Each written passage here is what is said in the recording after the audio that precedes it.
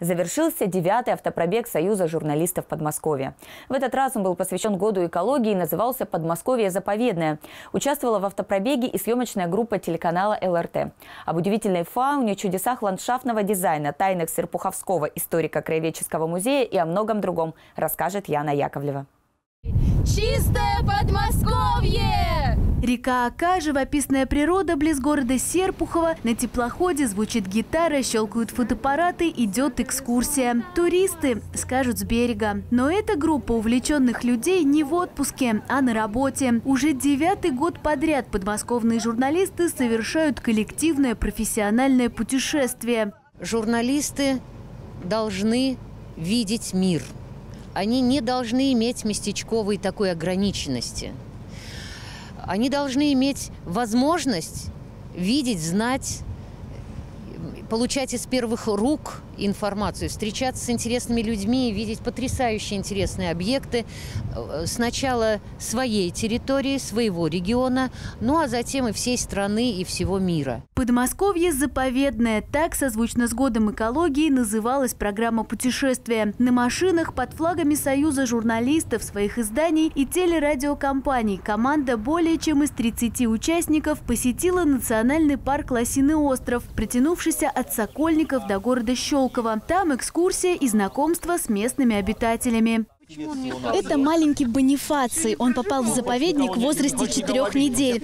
Его привезли из Ярославской области. И люди говорят, что он отбился от мамы, когда переходил дорогу. В Сергиево-Посадском районе журналисты посетили уникальную и крупнейшую в России гидроаккумулирующую электростанцию и обсудили технологию раздельного сбора мусора с представителями одной из клининговых компаний. Потом автопробег по Королеву. Главная цель – изучить благоустройство и озеленение городских улиц. Насыщенная культурными событиями программа ждала всех в Серпухове.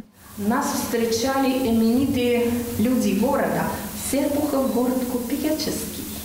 Были очень много цветов, хотя была зима, 13 декабря. Сама Екатерина II встречала журналистов в Серпуховском историко-художественном музее и рассказывала свои воспоминания о городе. У участников автопробега также была возможность посетить святыни Южного Подмосковья, Владычный Введенский женский и Высоцкий мужской монастыри. Пли! Заряжай!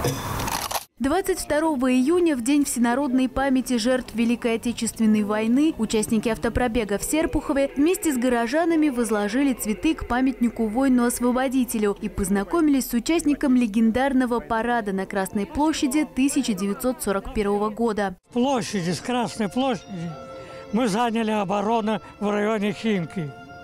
Тяжело было нашим ополченческим дивизиям сдержать фашистов фашисты рвались.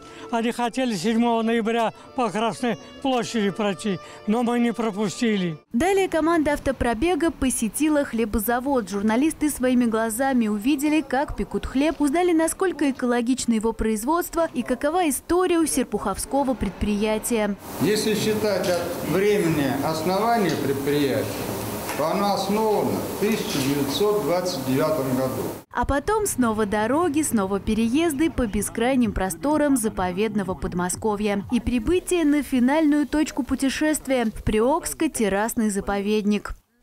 Символично, что заканчивается автопробег, как и начинался на территории заповедника. На этот раз это место, где живет зверь, который находится на первой строчке Красной книги.